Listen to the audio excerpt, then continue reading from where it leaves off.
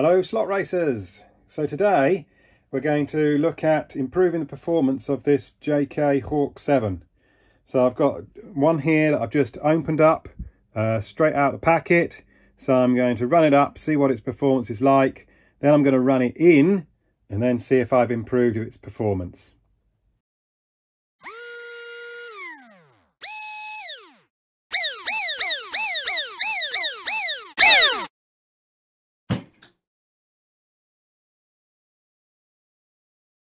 So I've mounted my motor into my motor analyzer and I'm going to run the warm up just to get a bit of heat into the motor and see how good the RPM is. So I've set my voltage to 5 volts on my power supply. So let's run the warm up. You can see there's a bit of vibration here, vibrating around. So hold that in place. You can see that the RPM is reasonably stable, somewhere around the 20,000 RPM, just a bit below. And you can see it's got a bit of a wobble on. So that's my base point. Hopefully we can improve it from there. Next up, I'll run my acceleration test. Now my acceleration test, I'm going to run at 12 volts because that's what the track's running at. So I'm going to run it at 12 volts and this tells me how quickly it accelerates through the RPM range.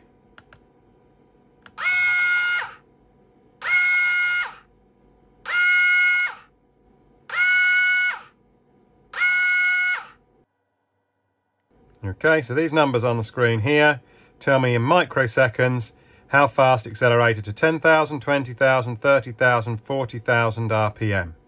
Okay, they're actually the gaps in between. So 1664 microseconds to 10,000, then a further 972 to the 20,000, etc.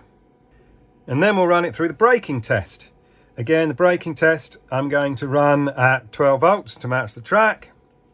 And this accelerates the motor, then it brakes it, and it measures the time taken to brake per 10,000 RPM. And it also gives you a power brake power figure, which is your e-brake. So again, the higher the number, the more brakey the motor is.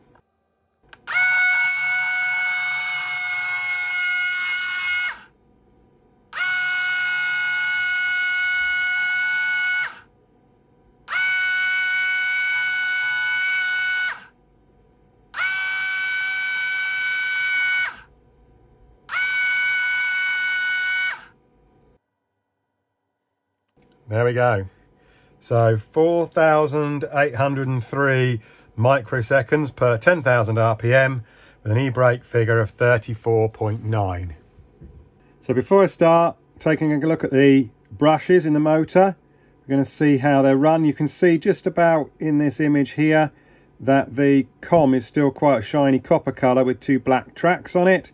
You might have seen my previous video where I looked into more detail about running the brushes in, etc.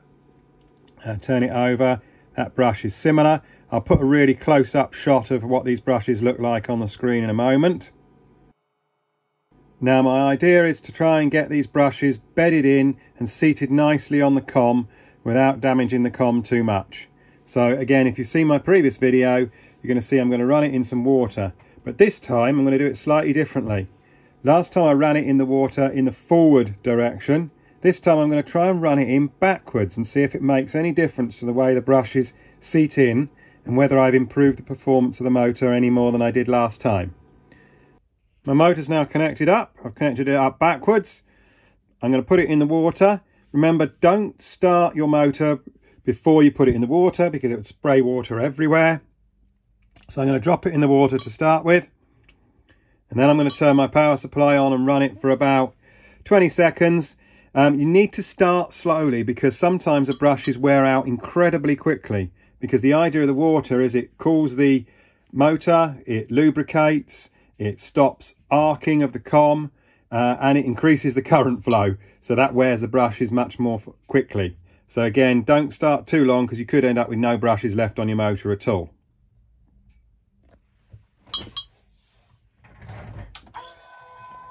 A few moments later. So I've run that for about 30 seconds at 3 volts, nice and low, just to make sure I don't burn all the brushes away first time round. And let's have another look and see have I made any difference to those brushes. Again, I'll put a close-up on the screen now. To be honest, it looks like I've hardly made any difference to those brushes, so I can afford to up the voltage and therefore run them in a, a little bit faster. So here goes again. Much, much, much later. There we go. Let's have a close look at those. So you can see that's definitely a lot better than it was. Um, they've definitely run in. One has run in more than the other one. Um, but I think that's enough. So I'm going to see how well that performs on my motor analyzer and see if running it in backwards has helped the performance more in terms of percentage than it did running it forwards. You can see the water has now turned into a horrible colour. Um, remember, don't drink the water. Now that they've finished running in, and I'm happy that I think I've run the brushes in enough, I've given it a good drying with my X-Power Blaster. Basically, it's just a little mini uh, air compressor that blasts out the, the air. You can use these for all sorts of things. Um, I found mine on Amazon. Absolutely great buy. Fantastic for drying a chassis if you're at a meeting and you've just washed your chassis and you need to dry it off. Fantastic for cleaning out your tyre truer. These are awesome. Um, I've put a link in the video description for where you can get these. Uh, again, if you follow my link, I do earn a very small percentage from it, but it doesn't change the price for you. So please follow, please buy. Um, these are absolutely excellent. So I've given it a blast out with this to dry it all out. And then I've also used some electrical contact cleaner, again, just to clear out any carbon deposits, etc. that were in there from the water. Uh, again, blasts it out, blast it out with one of these when you're finished. So the motors are now all dry and it's time to see how they're going to perform. So I'm running a warm up. Now if you remember it was 19.3 before, we're now up to 22.2, nearly 22.3. Let's run our acceleration test.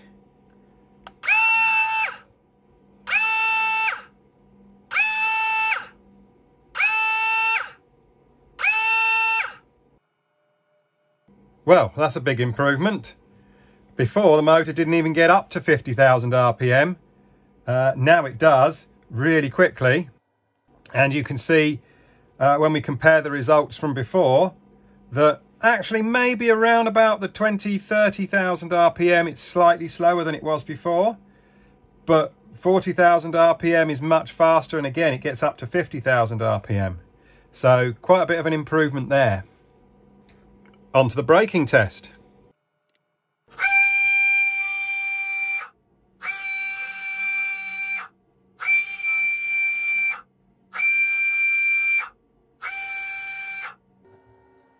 So that's a huge improvement on the braking test. We've gone from 4,803 microseconds to decelerate per 10,000 RPM uh, to 4625 and we've increased the e-brake performance from 34.9 up to 40.5. So basically I'm expecting a better braking performance from this motor now as well. So comparing our results side by side, we can see that when we ask ourselves a question, does running your motors in improve the performance of your motor? Well, clear answer is yes, it does. But the other question that we started this video with would be, does running them in backwards improve them more than running them in forwards? Well, if you've seen my previous video, you will have seen how much improvement happened when I ran it in forwards. So I'm going to let you compare the results for yourself and make your own decisions. It's fairly close. There's going to be a link at the end of this video for you to click on if you haven't seen my previous video. Thank you for watching another CleaveTech Tech Tip. There's plenty more to come. I'm going to be putting this motor into a 24th production car to use probably in a BSL and we'll see how it goes there. Thanks for watching. See you again soon.